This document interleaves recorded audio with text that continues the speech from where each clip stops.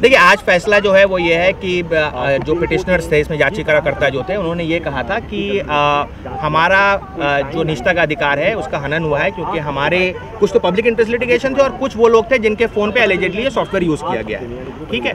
तो हमारा निष्ठा का अधिकार का हनन हुआ है। सरकार इस पर जो उन्होंने हलकनामा फ़ाइल किया था एफिडेविट लिमिटेड उसमें कुछ डायरेक्ट आंसर नहीं दिया था जो एलिगेशन थे। तो सुप्रीम कोर्ट ने कहा कि वो बिल्कुल सरकार के रिप्लाई से सेटिस्फाइड नहीं है।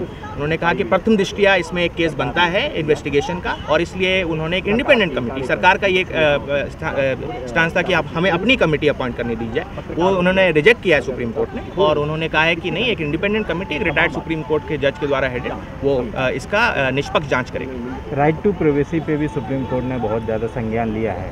और कितने दिनों में ये जो कमेटी है वो रिपोर्ट देखिए आठ हफ़्ते का समय है मैटर फिर लिस्ट होगा। इस दौरान मेरे हिसाब से कोई टाइमलाइन नहीं दिया गया है ये कहा गया है कि एक्सपीडिशियसली कमेटी देगी। तो अब आठ हफ़्ते में वो आ पाएगी या नहीं ये अभी कहना मुश्किल है कितने डेथ में जाएगी ये सारा कमेटी का अधिकार क्षेत्र है इस पर मैं कोई कॉमेंट नहीं कर सकता। राइट टू प्रिवेसी पे बेसिकली क्या कहा राइट टू प्रिवेसी पे बहुत ही अच्छा और डिटेल डिस्कशन है कि एक निष्ठा का अधिकार है वो हर सिटीजन का है।